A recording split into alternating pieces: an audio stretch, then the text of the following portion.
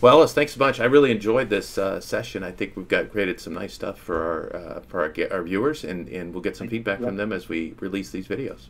Thank you so much, John. Really has been a, a great pleasure, and uh, appreciate everything that uh, that I that I'm learning from picking your brain.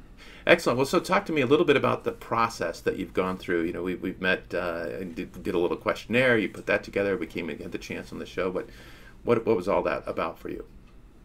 Well, um, you know, for me, I think it, just like we'll sometimes give our clients homework to do uh, to really kind of prepare them mentally and prepare their thought process, all the answers are inside there. You know, everything that you and I talked about um, today really came from what are the challenges that I'm facing as a business? How am I helping my customers? What's important to me? What's important to my clients? Uh, I do the same thing with, uh, with, with my clients and, and really help them to kind of all the they have all of the answers my only job is to facilitate their getting to the answers and holding them accountable for taking the actions that deep down on some level uh, they probably know that they need to take already.